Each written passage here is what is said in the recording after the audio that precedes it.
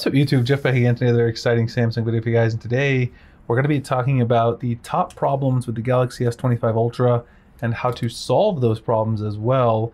Um, these are not necessarily things that would make the phone a bad phone or a deal breaker or anything like that. However, it is something that people have been asking questions about, you know, how do I solve battery life issues? How do I solve issues with the S Pen not working with MagSafe accessories, all these kind of things. I want to get into that today. Before we get started, remind you guys, check out our website, sammyguru.com. We have the latest Samsung news, tips, tricks, tutorials, and reviews. Sammy Guru Rewards program is opening very soon as well. want to remind you guys of that. But we'll go ahead and get right into my list. The very first one is the S Pen issues. And yes, the Bluetooth is gone from the S Pen. Um, unfortunately, there's not a lot you can do about that.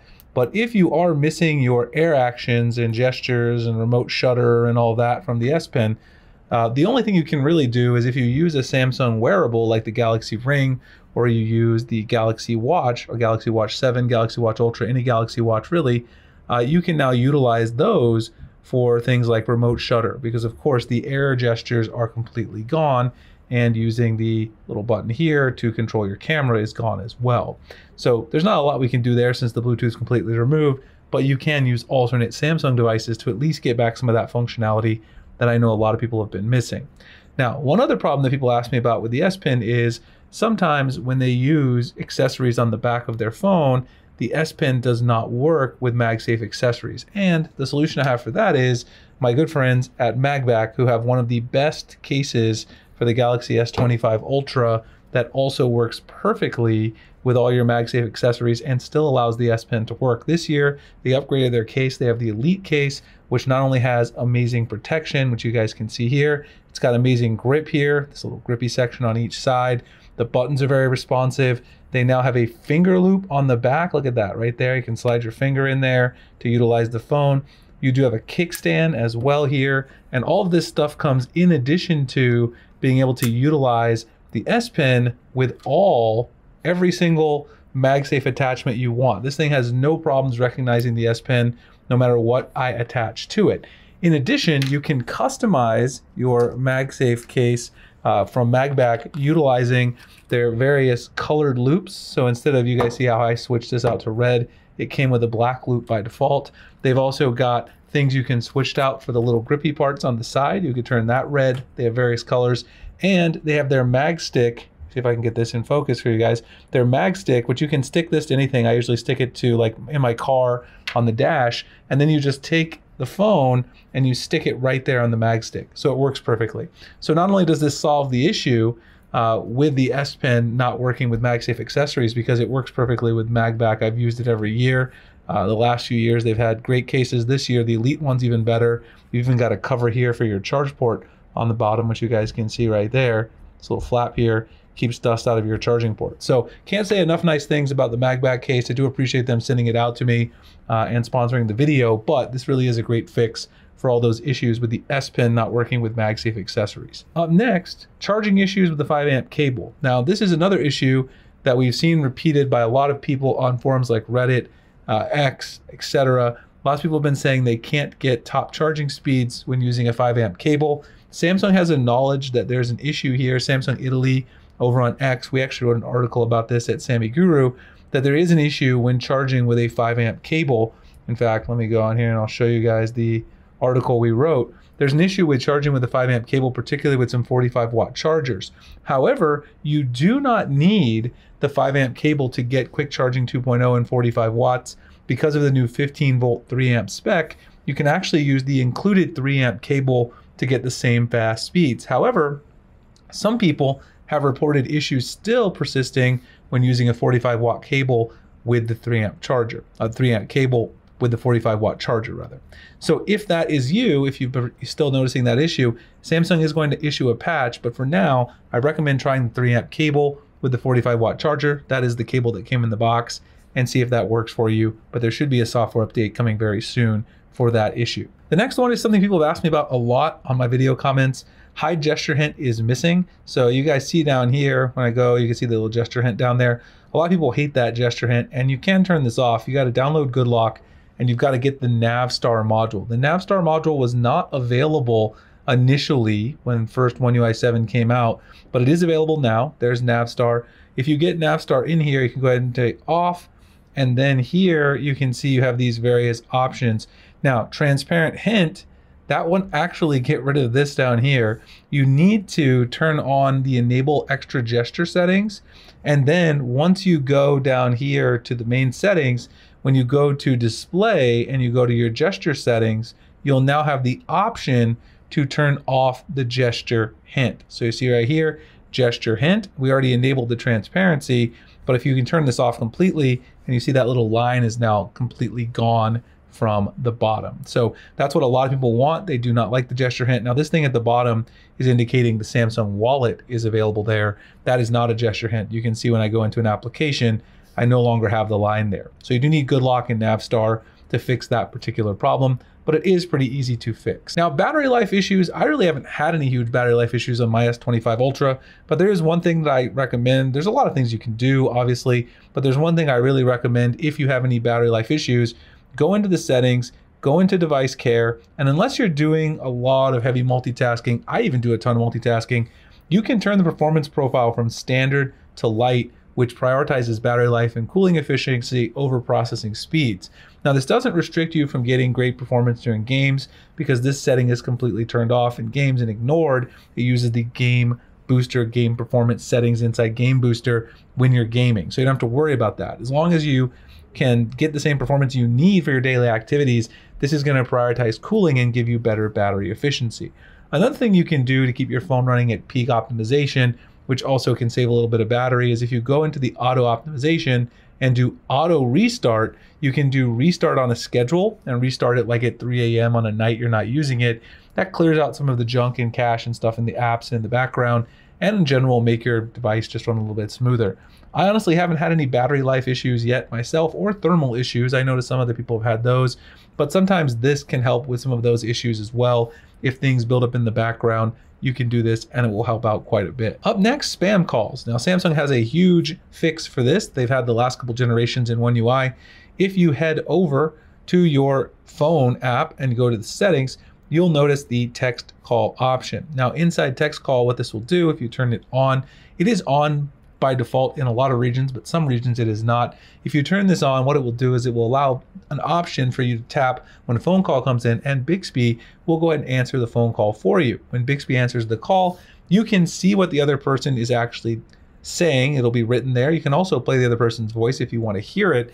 And at any point, you can tap on the screen to have various quick responses, which you can set up customized ones right here. If at any time you want to pick up the call, you can go ahead and do that as well. But if it is a spam call and you're screening it, then you can go ahead and just let Bixby take care of it, or you can tell them that you'll call them later. And then, of course, if it's a spam call, just block the number and then never answer it again, mark it as spam. So Bixby text call is absolutely phenomenal for spam calls. I really don't answer any calls where I don't know the number anymore. For this reason, I let Bixby take all those calls for me and screen them. Up next is one-hand operation because this is a large phone no matter how you slice it. And uh, the best way to get one-hand operation using the Galaxy S25 Ultra is no doubt to use GoodLock's One-Hand Operation Plus module. Now, One-Hand Operation Plus can be installed as a standalone module, but it is still a part of GoodLock. It's right here, and it has some bunch of options that you can use to make this phone easier to use with one hand. I went over it in detail in other videos, but it enables a left and a right handle that are customizable where you can have long swipe and short swipe actions to do various things, bring up your widgets, rotate the screen, open a specific app. You see, you have it open X here. Um, you can do the same thing on the right. You can have a long swipe over here, bring up your quick tools, your quick launcher, your task switcher. Now, I do recommend you leave the short swipe to be the default gestures if you're using gesture nav. Otherwise, it can get a little confusing. But there's so many things you can do here to customize these with the animation, the S Pen gestures, uh, when to hide the handles, app exceptions of when the, the handles won't appear. Um, you can change the touch width right here. You can change the, the size of this, of how long it is. I recommend keeping it not too large because otherwise it can interfere with like your edge panel and some things like that. You can also move the position. You can move it down. I like to move it down so it's just below the edge panel because that's usually where I end up swiping to do a lot of my gestures. You can also change the handle color if you're interested. You can make the color orange so it'll appear like that on the side and it does look pretty cool overall to customize this on a daily basis one Hand Operation Plus is an amazing app for your productivity and just everyday enjoyment of using this device since it is a very large phone. Camera issues. GoodLock also has an app that can help you with any camera issues and it is actually built into the camera app once you install it. It's also a standalone module and I'm talking of course about Camera Assistant which you guys can see right here.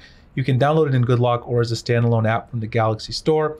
You can change, for instance, auto lens switching. I always turn this particular option off um, because auto lens switching is on by default and I don't want it to pick the lens for me. I want to be able to do it myself. Uh, down here, quick tap shutter, prioritize focus over speed. A couple of other ones that I like to utilize. There's a lot of pro options in here as well if you use your phone for video creation, content creation like audio monitoring, and save videos to external storage if you create a USB-C device. You can also customize your zoom shortcuts and add 100x zoom there I don't really use that that often, so it's not something that I would utilize. However, these options that I mentioned here with the quick tap shutter, prioritized focus, and auto lens switching can improve your overall experience with shutter lag and things like that in the camera app, and I do recommend installing Camera Assistant. Once you go into the camera application, you can access this from the main settings by just scrolling down and you'll see it right below vibration feedback once you've installed the module. Lag and animation issues. This seems like it's always come up on Samsung phones. And finally this year, it seems like Samsung has fixed this once and for all. And yes, it is a good lock module that solves the problem, but it can also be downloaded as a standalone module, and that is the HomeUp module. HomeUp now has the ability to completely tune all of your animation preferences, whether you like them slow, fast, however you want them to appear, right here inside the gesture settings. Gesture settings can be tuned on a number of different levels. And if you go in here, you'll be able to tune them either using simple tuning, which allows you to go from kind of slow, which is emotionally, to fast. These four preset options, which basically emulate some other popular phone manufacturers. And then the one that I'm using, which is advanced tuning. Advanced tuning uses the cubic Bezier curve and the dampness, stiffness, and friction parameters to determine how your animations will appear for various things like icon scale, tracking position, and also the home screen animation. You can take complete control of this and we will have a full guide on how to tune these to your preferences. We'll also be doing some tuning for our readers over at Sammy Guru soon, offering that as a service. If you guys are interested in that, that'll be coming available as part of our Sammy Guru Rewards program. But for now, you can definitely use the simple tuning and also the preset options to change the default animations if you find that they're too slow or too fast and get the optimal animations for you. Display saturation. Samsung also dialed this issue in a few years back. If you do not like the display color profile, color temperature, or saturation, you can go into settings, go into display, you can go down to screen mode, choose between vivid and natural, but that's not all. If you want more natural colors and less saturated, you can choose natural, but if you want to play around with the vivid colors and just change the temperature, you can also go down to advanced settings and you can not only adjust the RGB sliders, you can change the vividness to make it more or less vivid. It actually is on the lowest vivid setting by default, so you get more and more saturated colors as you turn this up. I kind of like to keep it at one or two personally, but you can play with it to your preferences. Samsung added this. As always, they respond to user feedback, which is one of the things I love about Samsung, giving us the options to tune the display to our personal preferences. Final thing that I've heard about is the vertical app drawer in alphabetical order, and unfortunately there's not a lot you can do about this. On the Galaxy S25 series out of the box until Samsung issues an update, if you go and sort using custom order, which is the default, you're going to notice that you have the horizontal swipe to get through your app drawer. However, if you sort these using alphabetical order, you will have the vertical app drawer. So for now, if you would like to use the vertical app drawer, your only option is to go to sort, choose alphabetical order, and it will do this. Now, if you're wondering how I have so many columns inside my app drawer, a lot of people have asked about this in past videos as well. The way I have that is also using HomeUp. So if you go into HomeUp, you can tune this using the app drawer setting. The way you do this is if you go into home screen, you'll be able to scroll down and you'll be able to find the app list columns. You see I have the maximum there, which is seven columns. So you can choose as many as you would like and you can get all this information, which is very dense. You don't need to scroll very far even if you have a lot of apps like I do. Now, of course, I wasn't able to cover every single problem in the entire world in this video, but if you guys have other questions, concerns, or comments, I'd be happy to answer them below. Just drop them there. Also, stay glued to Sammy Guru. We're covering everything about the S25 Ultra, S25, S25 Plus, including a one-month review coming up very soon if you're still considering the phone. Definitely check out the uh, brand new MagBak Elite case from my friends at MagBak.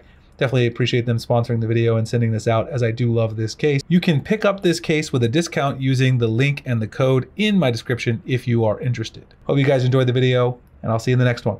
Thanks so much for watching.